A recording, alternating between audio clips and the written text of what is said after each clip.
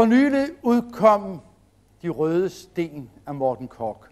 Morten Korks bog nummer 100. Og bog nummer 101 er allerede på vej. Det er 28 år siden Morten Kork døde, og han er alligevel stadig Danmarks mest læste forfatter.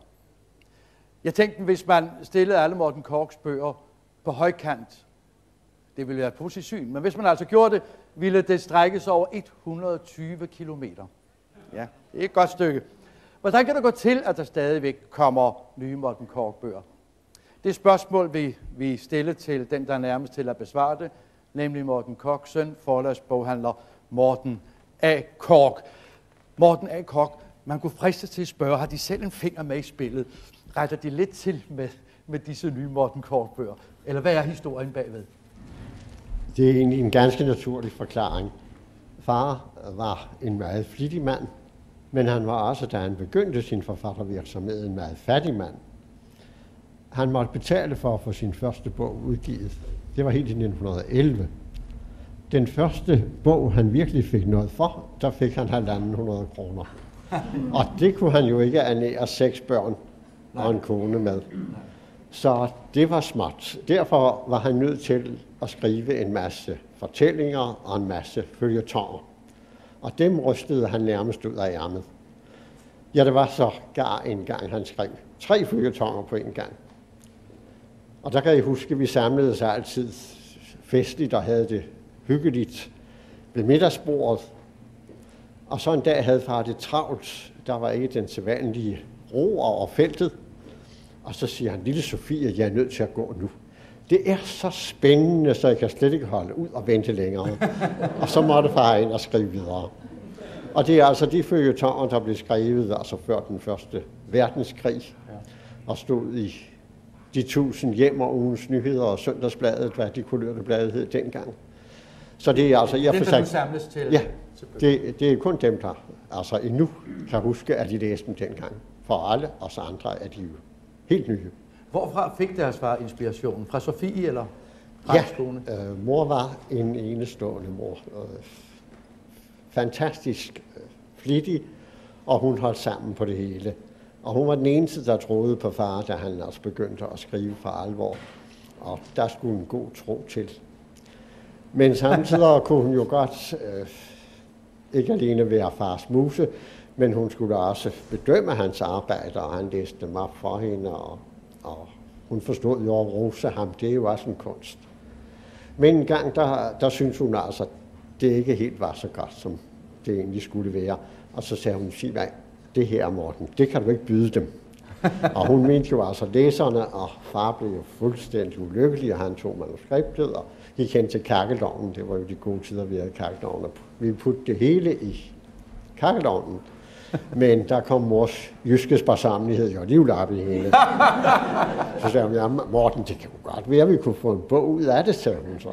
Og det blev der for øvrigt. Og den er også kommet. Han må være begyndt tidligt, øh, deres far, siden han kunne nå at skrive så meget. Ja, det ville man jo øh, være fristet til at tro. Ja.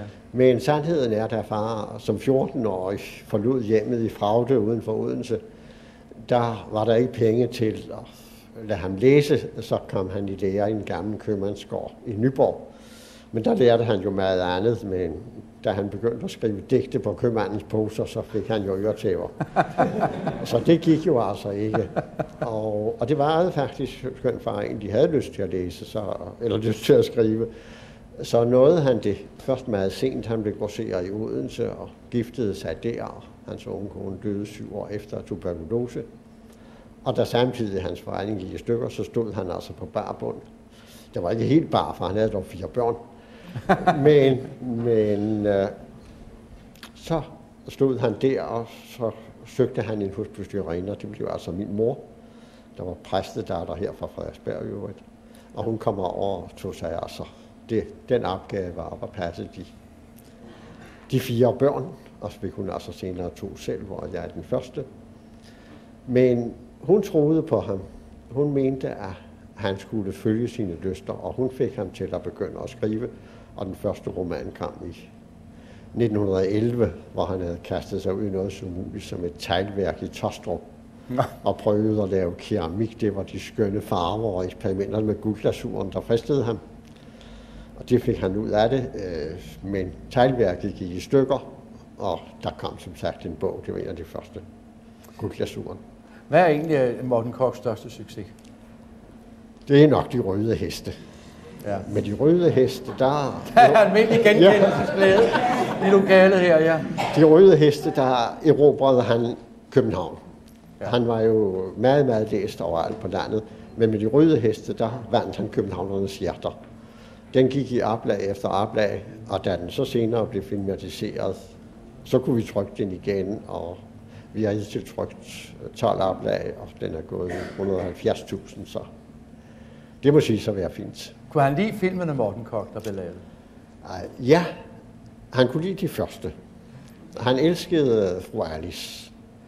Fru Alice havde den evne, hun, hun forstod Alice og Frederik Alice og Friedrich, ja. Friedrichs, ja. Der i sene satte filmen og også lavede drejebøgerne. Hun havde altså noget af det samme hjertelag som far. Og derfor kunne hun give øh, filmene den samme inspiration og den samme, de samme levende personer, de samme bipersoner, og kunne, om jeg så må sige, formidle fars hjertevarme til filmen, til filmstrømmen, som jo ellers er, er hård. Svær nok, ja. Nu siger de hjertelag, hjertevarme. Øhm, han var udsat for en hård kritik, deres far, blandt andet for, for sin øh, romantiske livsholdning og for sit sprog. Øh, tog han sig ikke øh, kritikken ned? Ja, det gjorde han faktisk. Det gik han, han meget hårdt på. Øh, nu, fars hele livsindstilling var jo lige så positiv som hans bøger. Han troede på det gode, men han troede til gengæld, at man skulle arbejde for det. Altså, det var ikke den lette løsning, han skriver om i sine Nej. bøger. Man skulle være sin egen lykkes smed. Man skulle selv skabe sin succes. Så gjorde de altså ikke noget, om det var den store gård eller lille husmandssted. Bare man fandt lykken, og selvfølgelig med den pige, man... Ja, sådan skulle det være. Ja, sådan, Jeg husker, sådan da- var det altså. Jeg husker fra 30'erne, der var en stor biblioteksfejde. Bibliotekerne ville ikke rigtig øh, anerkende Morten Koch på hylderne.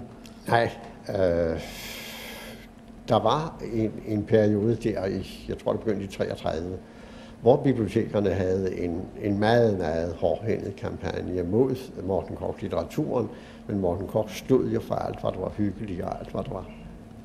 Og, og det var meget, meget hårde midler, og, og det gik også bare Det gik på. på.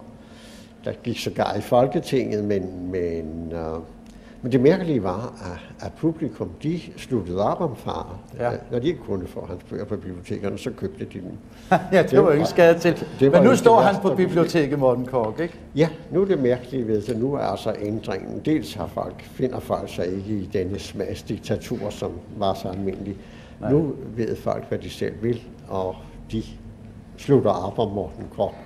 Enten de, så nu kan de altså komme på bibliotekerne, men vi ser jo stadig, at de, at Ja. de helst at de køber den. Er der, er der flere manuskripter at tage af? Ja, gudskelov da. Det ville være synd andet, når folk så gerne vil have en ny Morten Koch hvert år. Der kommer en ny til efteråret, og Ja. jeg regner med, at vi kan holde ud i 80'erne også. Må jeg have lov at sige tak for disse, for disse oplysninger om den store Morten Koch. Med hvor mange er det? 6 millioner eksemplarer? 6 millioner eksemplarer, ja. Faktisk tre eksemplarer i hver husstand. Hvis de var lige fordelt, det er de jo ikke. det er det ikke. Nå, må vi have lov at kvittere med en hoplandål. Tak Mange for den tak. her, Koch. Tak skal det have. Dem vil jeg glæde for. Tak.